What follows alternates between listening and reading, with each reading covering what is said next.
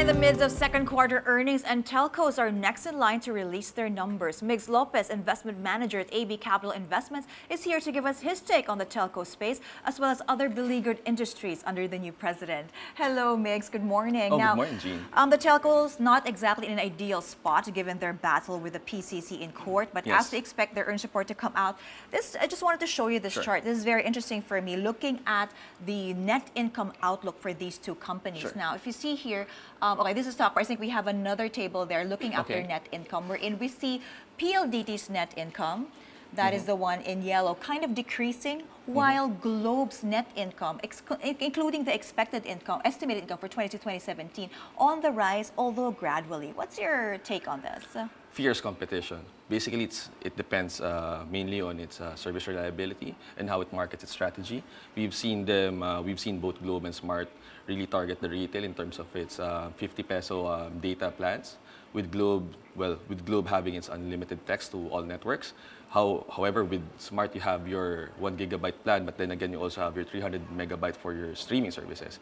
So different, well, same service, but different, different targets and different markets. Which one do you expect to impress once they release their earnings? I'm currently looking at PLDT right now. They've improved their earnings uh, from uh, 28 from 28 billion to 30 billion, and then this is due to the gains from the sale on sale of uh, Beacon. Uh, well, technically selling selling Meralco. That being said, one of the things we're looking at still is uh, with the Vega Telecom sale.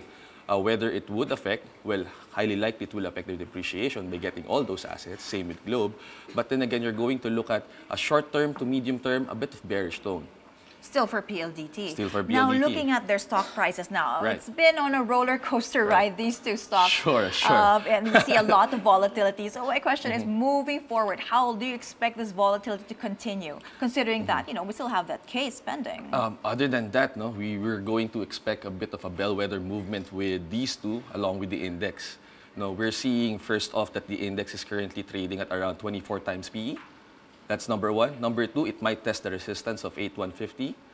Well, that's our target. Uh, that's our target level for the index. And number three, well, tomorrow's Ghost Month, so we will expect a bit of you know profit taking from our for all our investors trying to cash in for August. All right, so you're seeing that the challenges that will be, or the pressure affecting this particular stock price would be similar to the ones affecting the main index. Yes, ma'am. Now, looking at that, as we entered, officially entered the ghost month, how Yes. have you prepared your portfolios for that? Okay, it depends. First off, uh, historically, the index would fall down, I think, around one and a half to two percent. So this would be an opportune time for those in cash, for those who are not yet in the market, to enter the market. For those who are in the market already, it's a good time to take gains, you know, to take profit from those gains, and now to rebalance and to look for, in terms of stock selection, those value stocks that still have potential for a run-up. Okay, when talking about value stocks which still have, which has potential, what are the stocks you're looking at? Mainly, we're still looking at consumer. Uh, two names that I am currently looking at is first off Puregold, Puregold Price Club, and then Mrs. G. No? Although Mrs. G were part of the Vicsal group. That being said, if you're going to look at Puregold, it has run up to at least to the price of 47 to 48 pesos per share, breaking out from a price of 44 pesos per share. If you're going to look now at, at Mrs. G or Metro Retail Sales, Sorry, Club- just so for Sure. pure gold, so is that still value for money?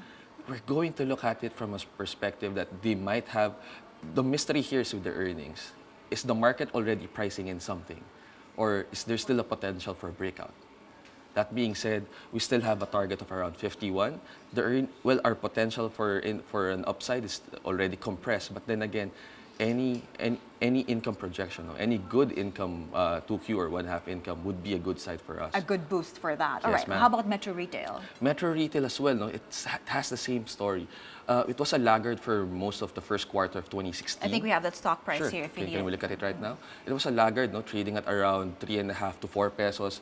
But then again, if you're going to look, there was a there was a boost from four pesos to You see that steep um, in- incline there. Yeah, there, there's a steep there's, there's a steep incline, no? From from at least three pesos, it's now boosted to 5.6 to 5.7. That being said, is there something with the earnings? Are we are we are we supposed to expect something that's gonna boost their earnings? So that's one thing we're going to have to watch out for as well. Thank you so much, Sure. Migs, for your guidance.